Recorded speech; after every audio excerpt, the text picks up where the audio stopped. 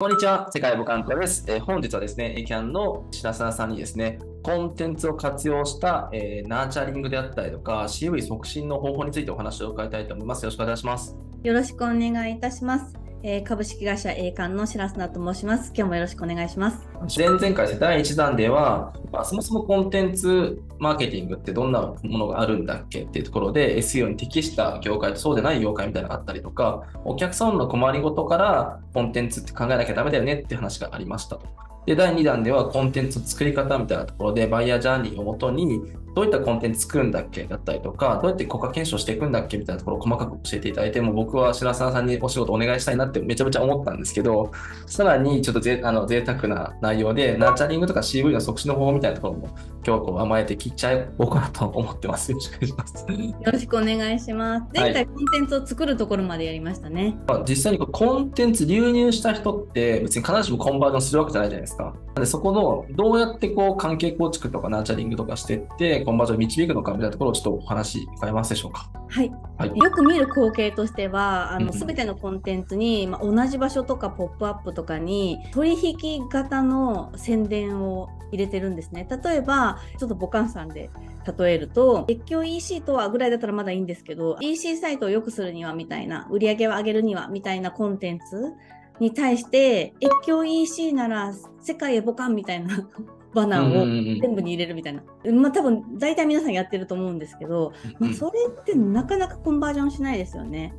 確かに確かに。さっき言ったみたいな結構無理やりコンバージョンみたいな無理やり CTA みたいなやつですね。こんな感じでその、まあ、コンテンツあの100本作りました。流入うん十万セッションありますみたいなところから全部一括っていうか、まあ、同じものですね越境 EC のノウハウ提供できますよみたいなあの訴求で CTA を貼っていても全然反応がないよっていうお困りごとってよく聞くんですね。うんうんうん、でこれでちょっとその作ったペルソナに立ち返っていただきたいんです。ペルソナがあの、まあ、EC 事業者で越境 EC やってなくて、えーと、越境いいかもなぐらいの人たちにノウハウ提供しますみたいな僕たちのコンサルやりませんかみたいな感じのをずっと言い続けてもまだなんかちょっとポカーンみたいな感じじゃないですか。うんうんそうなんです。こういうことが起こっているので、なかなかコンバージョンしてないっていうようなことになっています。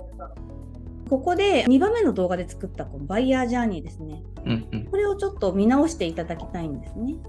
で各フェーズごとにあの困りごととかコンテンツが存在してでそこからいきなりサービスにリンクを貼っていくっていうのって結構これでもうちょっと遠いやつとか難しいなって思いますね商品写真撮り方みたいなのに、うんうん、越境 EC なら世界へボカンみたいな。確かに確かに。そうなんです。このまあ、分類とかを見るともう絶対にコンバージョンしないっていうのは分かるはずなんですよそれでも、まあ、一式同じものを貼ってしまっているっていうことが起こっていますね。やりがちですよね。そうですね。うんうん、で例えばコンテンツ100本作りましたよっていうのもさっきのそのバイヤージャーニーみたいなのを設計されてない状態で作っていると、うんうん、もう全然なんかその何がどの役割やってるかもわからないじゃないですか。うんうん、でそのコンバージョンしないって困ってる人たちは一旦その100本作ったものをこのフェーズに当てはめるっていうことをしていただきたいんですね。うんでそうすると、あのこの1の興味関心フェーズで50本ぐらいやってみたいな。課題人数は32本みたいな感じで全部で100本だけどこんな感じになってましたっていう時にまずその興味関心のフェーズのコンテンツに対してその取引さっき言ったみたいなコンサルやりませんかみたいなものを、えー、提案してもまずコンバージョンしないので、うんうん、やり方としてはこの1個先のフェーズに送っていくみたいなやり方をしないとちょっと難しいですね。なおかつあの検索流入が狙いやすいものっていうのは結構そうフェーズが浅いものが多いんですね。その方が検索ボリュームもあったりとかコンテンツもたくさん作れたりとかするので例に挙げて言うと興味関心でいくと例えば EC サイトを良くしたいとかだから商品写真撮り方とか問い合わせのメールの返信仕方とか結構いろんな課題があるじゃないですか。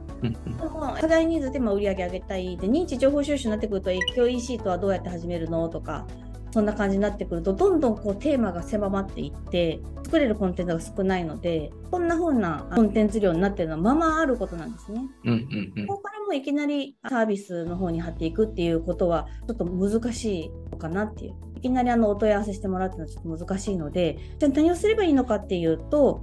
最初の動画でもあの2回目の動画でも少しお話ししたようにそのフェーズが浅い人たちに関しては何かしらあの緩いつながりを持ってもらってサブスクライバーに変えていくってことをやらなきゃいけないです。フェーズがあの1番、2番、3番ですね。興味関心、課題ニーズ、認知情報収集ぐらいの人たちって、まあ、今すぐコンバージョンしにくいので、えーと、こういった形で何かしらつながりを持ってニュースレター、メルマガとかを受け取ってもらう、あとセミナーとかあの教育コンテンツに来てもらって、まあ、メールアドレスとかを登録してもらう、YouTube のチャチャンネルに登録してもらって、引き続き動画とかを見てもらうとか。SNS でつながってもらって SNS, SNS の投稿を見てもらうみたいなことをやっていきます。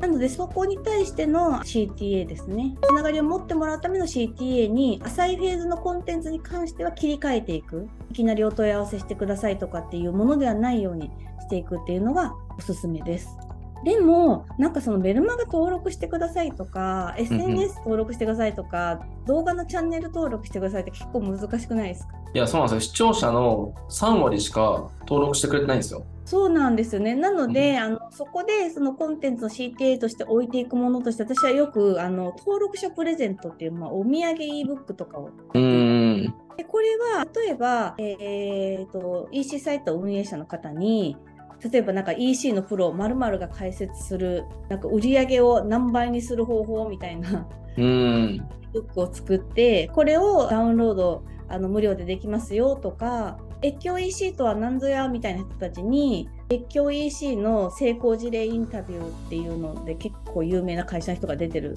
冊子とか、うんうんうん、なんかそういうもういかにも欲しそうなものとかを作って、まあ、それをダウンロードしてえー、もらう代わりに何かしらつながりを持っていただくっていうところで交換していく感じですね。これは結構いろんな会社さんでやっています。はい、で、その ebook もその越境 EC パターンと EC 売上上げるパターンと初めてのあの EC サイト立ち上げみたいなのでフェーズごとに作っておくとそこで獲得できるので、そういったやり方をやってますね。ああ、なるほどね。ユーザーの興味関心のあるコンテンツに、次のステップみたいなところに合わせたホワイトペーパーみたいなのを用意すると、登録してもらいやすくなるんだ。そうですね。登録してもらえれば、そこにどんどん啓蒙活動できるので、検索エンジンから流入してもらうっていうのは、いわゆるプル型コンテンツなので、まあ、中継しかできないじゃないですか。こもう作って待ってることしかできないんですけど、えこういうサブスクライバーにして、こちらから定期的に情報を送れる、あプッシュ型のコンテンツを送れるようになると、まあ、例えばなんですけど、その EC サイトを最近立ち上げました、D2C 始めましたぐらいの人たちに、まあ、EC サイトをうまく運営する How to Book みたいなやつをあげて、まあ、それ欲しいですよね。で、ダウンロードして、え、ー、と、ボカンさんと緩いつながりを持ちました。そこに、い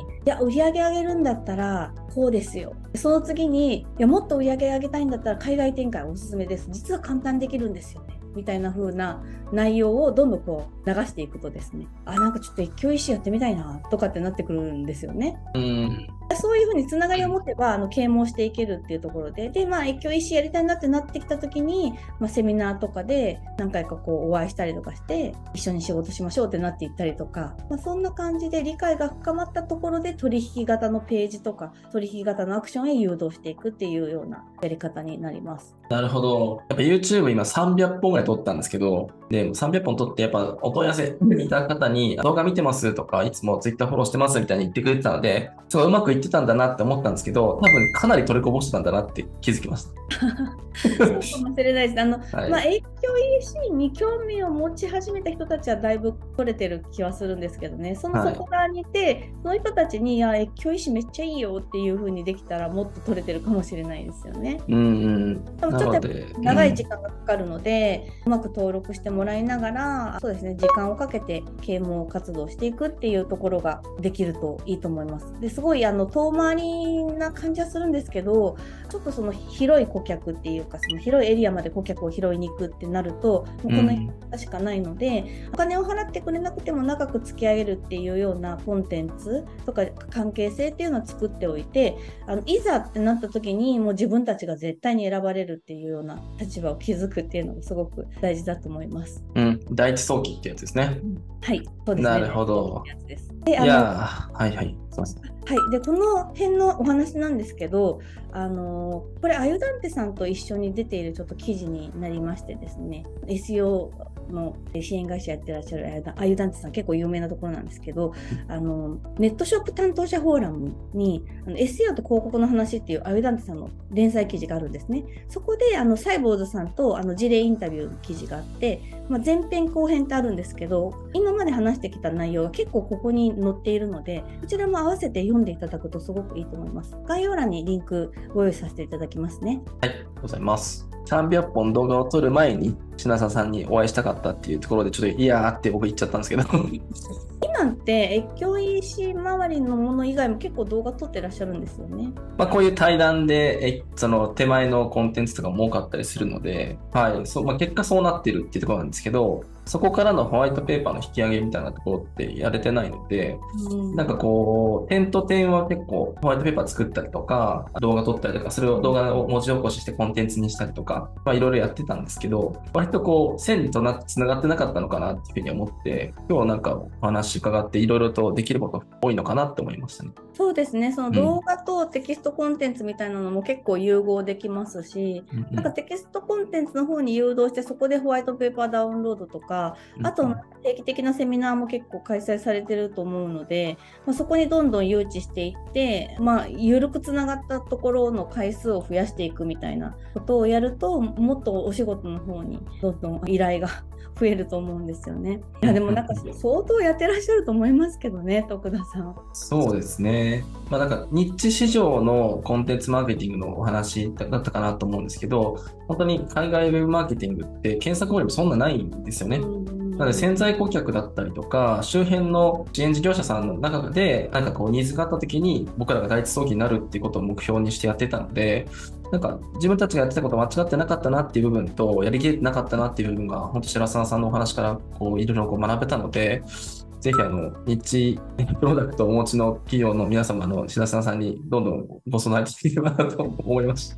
ありがとうございます。はい。まあ、そんなわけで、チャンネル登録数ですね、まだ視聴者の30%しかあのしてないので、ぜひあの残りの7割の方もチャンネル登録、いいね、コメントをぜひお願いいたします。えー、貴重なお話いただきありがとうございました。ありがとうございました。世界母艦では海外マーケターを募集しております。えー、マーケティングは経験しているものの、なかなか海外に挑戦できないということで伸び悩んでいるそこのあなた、お客さんと向き合って、プロジェクトを進めていきたいと思っているそこのあなた、ぜひ概要欄から弊社に応募してください。